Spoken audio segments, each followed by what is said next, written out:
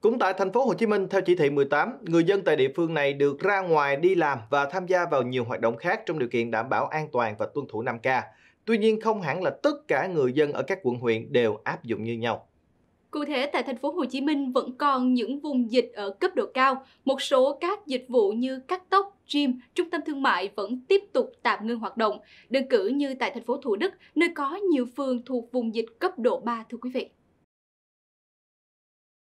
Thành phố Thủ Đức chia 34 phường thành hai vùng, trong đó với những phường thuộc vùng dịch cấp độ 3, trung tâm thương mại, cơ sở cắt tóc gội đầu, thể dục thể thao, gym, yoga, đám cưới, đám tang, dịch vụ kính thuốc, phòng khám chuyên khoa thẩm mỹ, dịch vụ làm răng giả, cơ sở kinh doanh mỹ phẩm phải tạm dừng hoạt động. Các khu chợ đầu mối, chợ truyền thống chỉ kinh doanh hàng hóa, lương thực thực phẩm thiết yếu.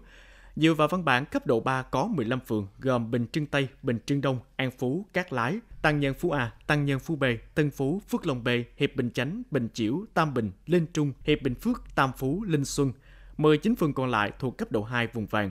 Việc này dẫn đến hàng loạt cửa tiệm đã mở cửa nhận khách được một vài ngày thì phải đóng cửa ngay. Ủy ban nhân dân thành phố Thủ Đức thông báo kết quả đánh giá cấp độ dịch sẽ được tiến hành định kỳ hàng tuần. Tùy theo tình hình, địa phương sẽ tiếp tục áp dụng hoặc điều chỉnh mức độ để triển khai phục hồi các hoạt động kinh tế tại các phường cho phù hợp.